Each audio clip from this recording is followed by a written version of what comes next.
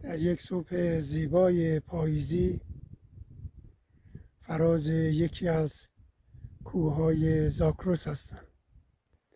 کنار تخت سنگی که بر خود نقش های کهن و گوناگون دارد و از همه جالبتر نقش یک خورشید بود. نقش به قدری کهن و تاثیر عوامل طبیعی بر خود دیده بود که به سختی دیده می‌شد. و ما ناگزیر شدیم برای اینکه بتوانیم جزئیات آن را ببینیم آن را با گچ بازنمایی کنیم.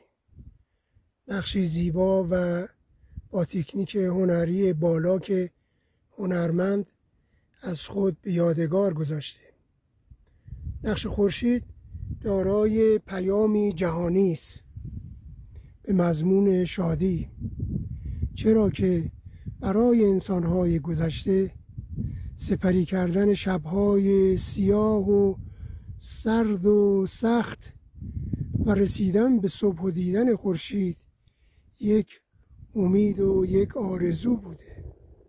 و دیدن خورشید برای اونها چقدر شادی بخش بوده است.